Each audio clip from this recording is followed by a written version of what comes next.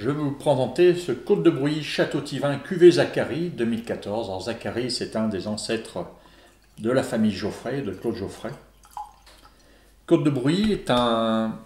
On a toujours pensé que c'était un volcan placé en plein milieu du Beaujolais. En fait, ce sont des, déjections volcaniques et magmatiques, euh, sûrement d'un des volcans euh, du Massif central. Donc une minéralité très prononcée souvent dans ces vins, de cette appellation euh, Côte de Bruy, qui est une des plus petites du Beaujolais. Le cépage gamay domine, effectivement. Ces roches magmatiques de diorite et légèrement granitiques vont donner un vin à la robe rubis sombre, violacée, très brillante.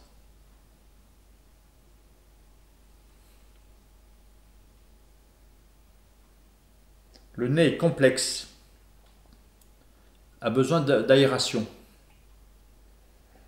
Des arômes de fruits noirs, fruits noirs macérés, confits, confiture de cassis, liqueur de cassis presque. Un nez très mûr, très intéressant. Floraux aussi, des arômes de rose, rose fanée.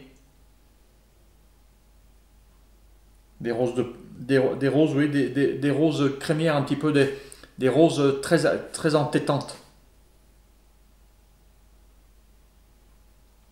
un nez tout en charme.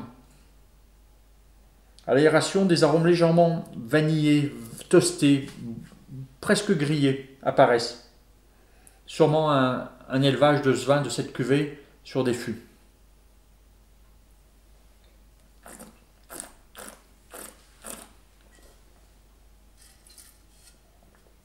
Le vin est, dense, complexe, très aromatique, euh, un brin charmeur, et sérieux à la fois.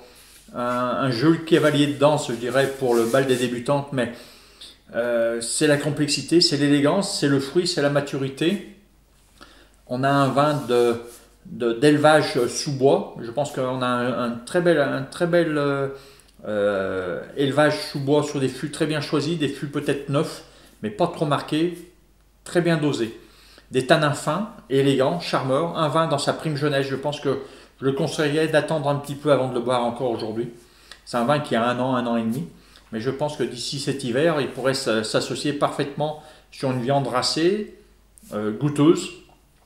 On pourrait venir euh, certainement sur de la biche. Hein. par exemple, pour les repas de fête, une, jolie, euh, un, ton d'eau de biche avec une purée de petits marrons, quelques châtaignes accompagnant, un gratin de cardon comme on sait le faire à Lyon. Je pense qu'on pourrait vraiment mettre ce vin en valeur par rapport à un plat à servir à 15-16, évoluant dans les années, je pense que là on est parti sur une belle euh, demi-décennie, 5-6 hein, ans sans problème, euh, avec une très très très belle cuvée.